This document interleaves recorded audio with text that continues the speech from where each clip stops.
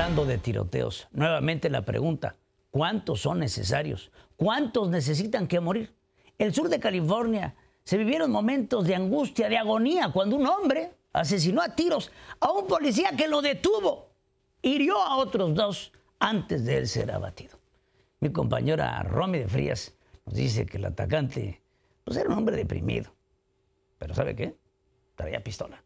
Romy, adelante. Así es, Pedro, muy buenas noches. Y bueno, lo que inició como un simple parada de tránsito en Riverside, California, terminó en un río de sangre, con un oficial de la patrulla de caminos muerto y dos heridos, estos a manos de un ex convicto que se salió de control.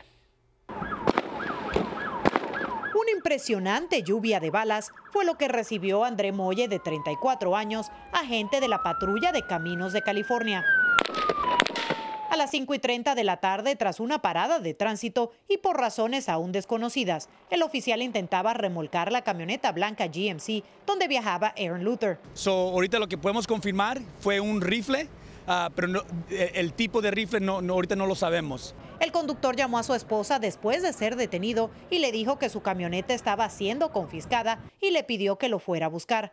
Fue ahí donde el hombre sacó una escopeta y empezó a disparar. Tras varios minutos de fuego cruzado, el oficial Molle murió y otros dos agentes resultaron seriamente heridos. Un oficial de aquí de la patrulla de caminos de Riverside uh, puso una llamada de auxilio pidiendo ayuda. Uh, en ese momento comenzó una balacera entre uh, eh, los oficiales de la patrulla de caminos y un sospechoso. Luther, un pandillero con una larga lista de antecedentes penales que incluye posesión ilegal de arma de fuego, asalto con un arma mortal y violencia doméstica. Fue condenado por robo e intento de asesinato en 1994 y sentenciado a 12 años en una prisión estatal. Su padre le dijo a los medios que su hijo estaba desesperado y deprimido y quería morir a manos de las autoridades.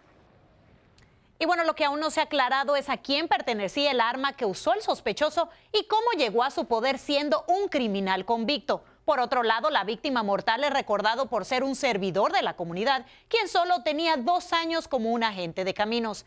Pedro, algo lamentable. Si hubiera más control de armas, esa arma nunca hubiera llegado a las manos de un ex convicto que fue acusado de intento de asesinato. Esa es la pregunta de todos. Ahí está todo.